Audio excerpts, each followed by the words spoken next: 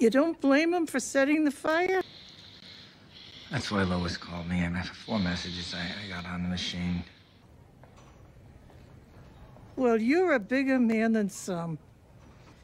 She's going to finish baby journals from long time ago. Carmela gave you one of these for each of the kids when they were born.